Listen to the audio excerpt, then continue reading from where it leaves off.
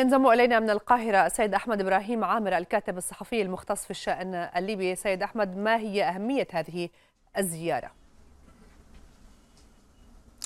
طبعا زيارة المستشار عجيلة صالح رئيس مجلس النواب الليبي الآن للقاهرة تأتي في نطاق التحشيد للرجوع للشرعية الدستورية الليبية وهي الحكومة المؤقتة الليبية برئاسة السيد عبد الله السني. طبعا اتفاق الصغيرات الذي وقع في ديسمبر 2015 نص على وجود مجلس رئاسي ولكن كان من ضمن هذا الاتفاق أن يتم تكوين أو تشكيل حكومة وفاق تتقدم للبرلمان لنيل الثقة وهذا ما حدث مرتان ولم تنل الثقة من البرلمان الليبي. وهي غير معترف بها داخليا والبرلمان لا يعترف غير بالحكومة المؤقتة.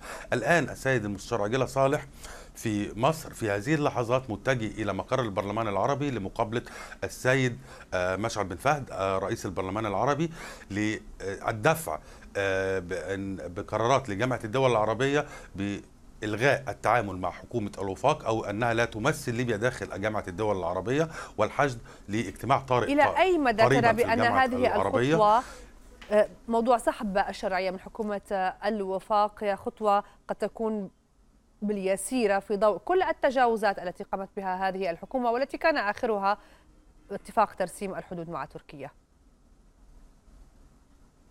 طبعا هي خطوة ليست باليسيرة ولكن دعينا نقول أن هذه الحكومة التي لم تنل الشرعية البرلمانية من الداخل الليبي تم فرضها فرض على جميع الدول الأعضاء في الأمم المتحدة بعد التصويت في الأمم المتحدة بالاعتراف بها أنها تكون ممثلة لليبيا خارجيا.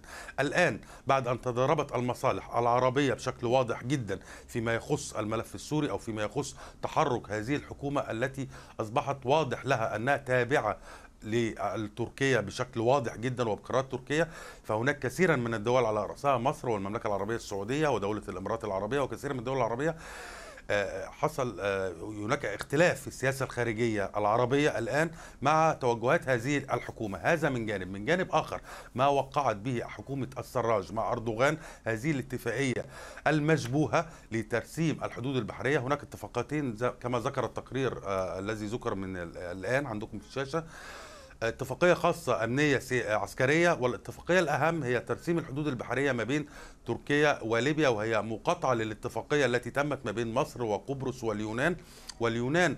هنا بنتحدث على دولة عضو في الاتحاد الأوروبي. الآن في بروكسل يتم اجتماع على شامل 28 دولة في الاتحاد الأوروبي على مستوى وزراء الخارجية لبحث هذه الأزمة التي وقعت فيها اليونان أو لدعم اليونان ضد هذه الاتفاقية الأردوغية السراجية من جهة. ومن جهة أخرى هو يتوجه إلى أثينا في زيارة رسمية لزيارة رئيس البرلمان اليوناني بعد طرد السفير الوفاق هناك لبحث إمكانية تسليم السفارة للحكومة المؤقتة الليبية خلال الفترة القادمة. شكرا لك أحمد إبراهيم عامر الكاتب الصحفي المختص بالشأن الليبي.